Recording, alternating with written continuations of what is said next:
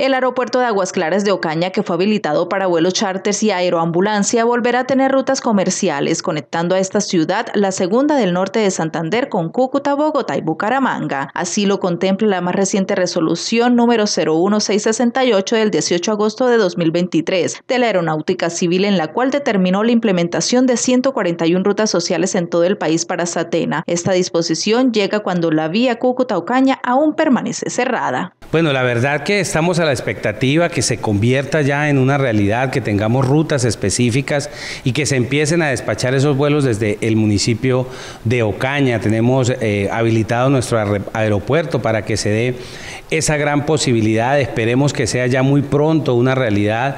Eh, Muchas veces uno hace invitaciones para hacer gestión para que lleguen hasta el municipio de Ocaña y por tener este inconveniente de que no hay conexión aérea, pues esa gestión eh, no llega a feliz término. Esperemos que para beneficio de todos, de Ocaña, de la provincia, para tener la comodidad de salir con facilidad a la capital del departamento y a la capital del país, esto se concrete muy rápido, de manera positiva y tengamos esos vuelos comerciales lo más pronto posible. Para la región, especialmente los del Catatumbo y el sector turismo, este anuncio representa la oportunidad para mejorar la economía. Es un tema bastante complejo. Yo siempre he llamado y después que vivo la experiencia de manera directa, presentar un proyecto al gobierno nacional es un vía crucis.